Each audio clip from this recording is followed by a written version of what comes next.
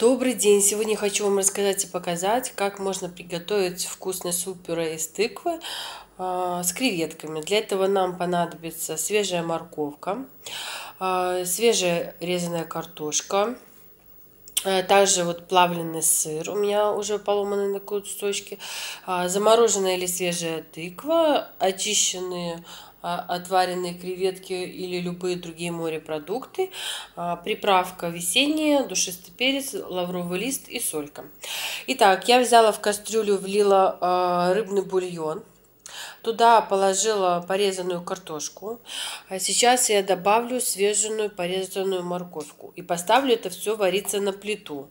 Как только картошка с морковкой сварились, где-то ну, почти доварились, можно сказать, а, добавить туда тыкву и варить до тех пор, пока а, тыква вместе с овощами не сварится. Вот я выловила овощи все с кастрюли. А, теперь их надо либо размять, вот так вот хорошо до однородной массы, либо через комбайн, через блендер тоже размять. Когда будете через комбайн, через блендер, желательно добавить немного бульона, чтобы оно лучше э, перекручивалось. А, сейчас я их разомну и буду опять выкладывать в бульон уже. Вот я их уже размяла, овощи до однородной массы. Теперь я их буду выкладывать обратно все в бульон. Итак, вот я выложила овощи уже в бульон. Он такой красиво оранжево а, желтенький получился. Далее засыпаем а, приправку лавровый лист, душистый горошек и моя любимая весенняя приправка. Вот. И вымешиваем. Теперь я буду э, выкладывать в суп также плавленый сыр. И этот суп надо будет постоянно помешивать, пока он не расплавится.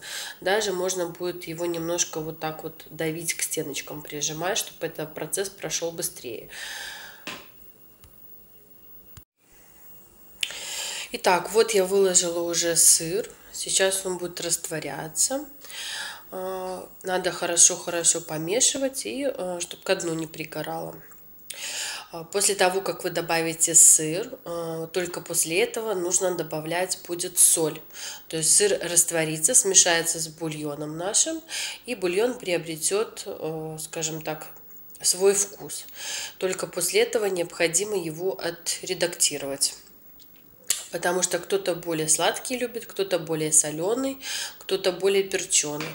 Ну и в самом конце уже, когда я все добавлю, а, соль добавлю, когда уже сыр расплавится, а, в самом конце вот добавляем мы креветки, морепродукты, а, рыбку отварную, ну в нашем случае креветки.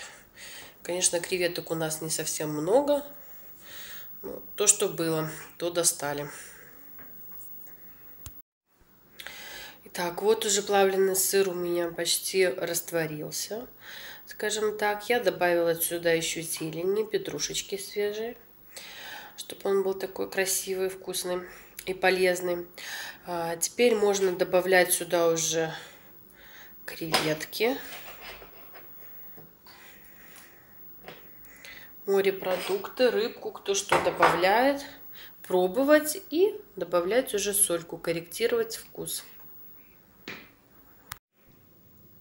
Вот я э, налила уже готовый суп в пиалочку. Он сейчас немножко остынет, и можно будет его кушать. А, такой красивый разноцветный он у нас получился. Самое главное, очень вкусный. И когда я делаю суп-пюре, я предпочитаю больше овощи давить вручную. Они получаются в супе кусочки небольшие попадаются. Он как-то интереснее, богаче, и мне больше по вкусу импонирует, нежели на блендере полностью все до идеального состояния перемолоть. Вот и все, что я хотела вам рассказать и показать по поводу этого блюда. Приготовьте, не пожалеете. Всем пока, подписывайтесь на наш канал и узнаете много чего интересного и полезного для себя.